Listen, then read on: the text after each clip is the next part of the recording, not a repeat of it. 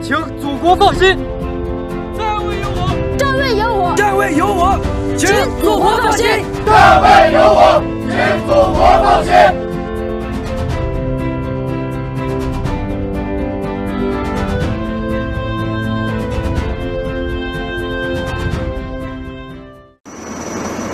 发现敌舰，战斗警报，指令攻击。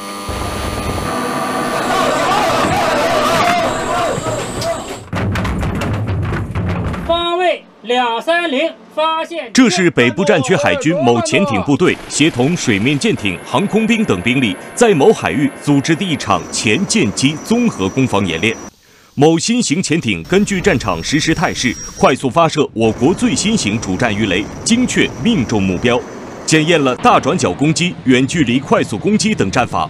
这艘新型潜艇就是2018年习主席登艇视察的部队。这里是青岛某军港，刚刚完成训练任务归来的某新型潜艇静静停靠在码头。现在大家可以看到，官兵们正在进行装备巡检和物资补给。两年前，习主席来到这支部队视察，就是从我身边的这个舷梯登潜艇。下舱室进站位，勉励官兵坚定理想信念，建设坚强集体，把打赢本领搞过硬。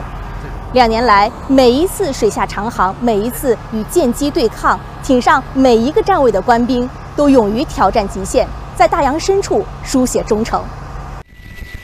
舵信技师王同岩主要负责控制潜艇航向和深度，传递海上通讯信号。在这个站位上一干就是二十三年。习主席登艇视察时，与他亲切交谈。习主席对士官队伍非常重视，问我们操纵这么一艘潜艇，技术上要求很高，难度大吧？我们感到非常的亲切，同时也感到肩上的担子很重。嗯，这几年以来，我参加了战备巡航演习、演训和实射雷弹任务。任务期间，在站位上不断的磨练自己的专业技能，呃，挑战设备操纵精度的极限。因为手中有了过硬的本领，心中才能有打赢的底数。在这两年遂行的重大任务中，王同岩所带领的舵信班成功实现潜艇变身机动的精度从米级提升到分米级，潜艇纵倾角度的控制精度从一度提升到零点一度。这个潜艇部队把领袖的嘱托转化为练兵备战的强大动力，常态化开展重温幸福时刻、锻造水下先锋等教育活动。在声纳听训练室中，习主席现场出考，我准确作答。习主席竖起大拇指为我点赞，这是我最骄傲的一件事情。如今，这位被习主席两次点赞的海军声纳比武冠军蒋金良，已成为水声专业创新团队的一员。他和战友们一起不断突破水声数据建设与智能化实战运用的技术瓶颈，成为潜艇先敌发现、先敌识别的亮眼，从而提升了潜艇的水下攻防能力。习主席的两次点赞使我受到了极大的鼓舞，我以此作为新的起点，和大家一起向水声数据智能化实战运用发起了冲刺。我还会继续努力钻研学习，把新技术的优势和我们本身的优势结合在一起。让战斗力实现新的突破。在这支部队，像蒋金良这样的士官不是一个，而是一批。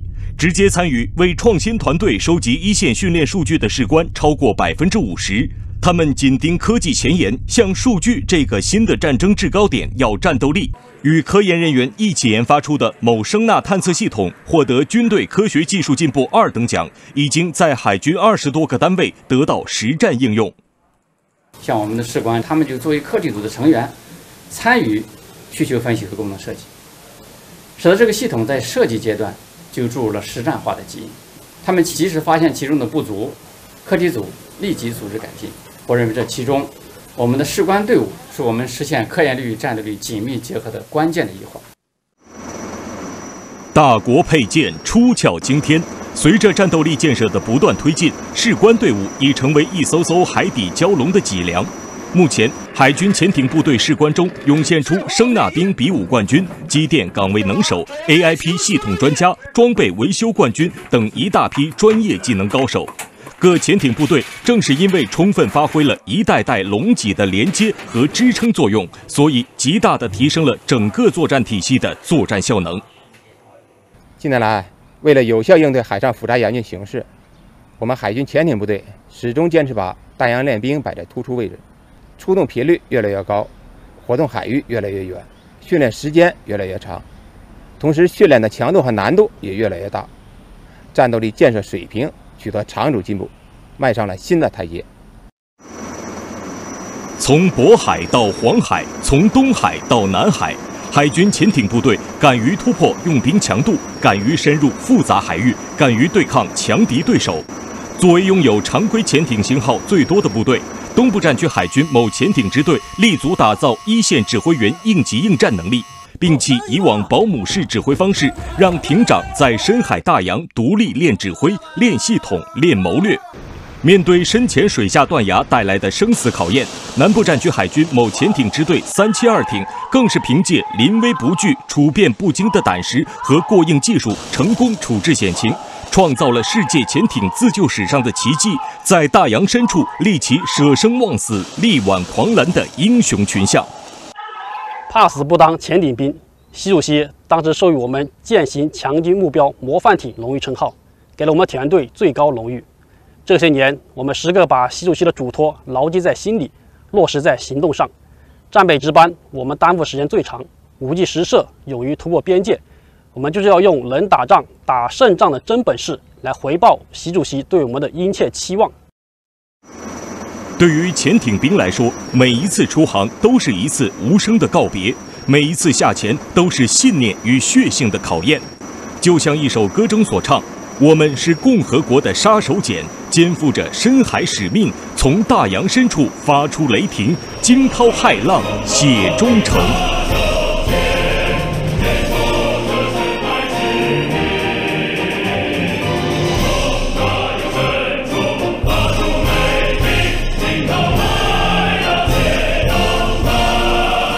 我是潜艇雷弹班长姚深深，站位是潜艇雷弹发射岗位。我在站位报告，我将确保每次发射准确无误。我是主机兵姚志龙，站位是潜艇主机操作台。我在站位报告，为维护国家安全的海上盾牌提供不竭动力。我是航海长龚书伟，我的站位是潜艇航海指挥岗位，旗经岛海当先锋，万里海疆不迷航。